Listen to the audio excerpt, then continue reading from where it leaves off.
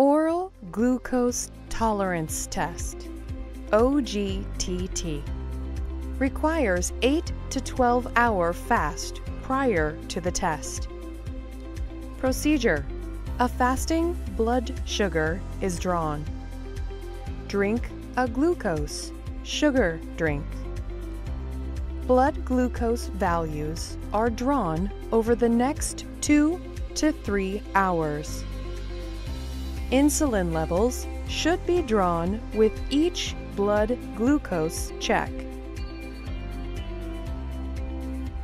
Oral Glucose Tolerance Test Results A two hour blood sugar value of greater than 200 milligrams per deciliter is diagnostic of diabetes. A two hour blood sugar value of greater than 140 and less than 200 milligrams per deciliter is diagnostic of prediabetes.